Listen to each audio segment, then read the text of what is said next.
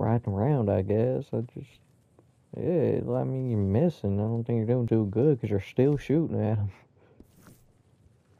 But, oh, oh no, he, he, there's a wacko. I'm just gonna go inside and I'm just not gonna pretend I didn't see him. It's just a fucking weirdo. I hope he does not come in here. Hey, I got nothing to steal. I'm a little, I'm a pig farmer. I, I'm, uh, don't come in here.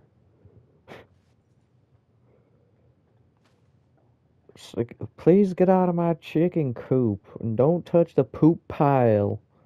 I've been working on that for a while now. What? What? Don't don't take my turkeys neither. I don't care what how many stars it has. This ain't Mario Party. That means nothing.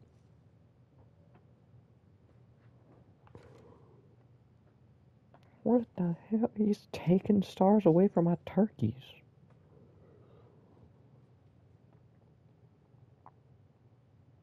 I, I, it's, what the hell is, what is going on? There's a weirdo outside.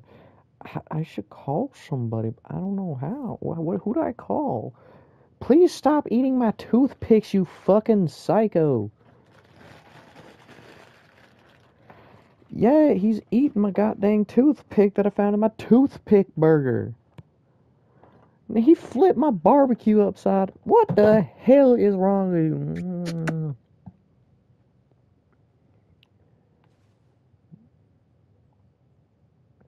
Yeah, but please don't go in there. It's too small for a human.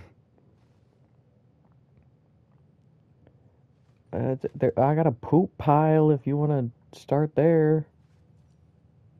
It's out in front.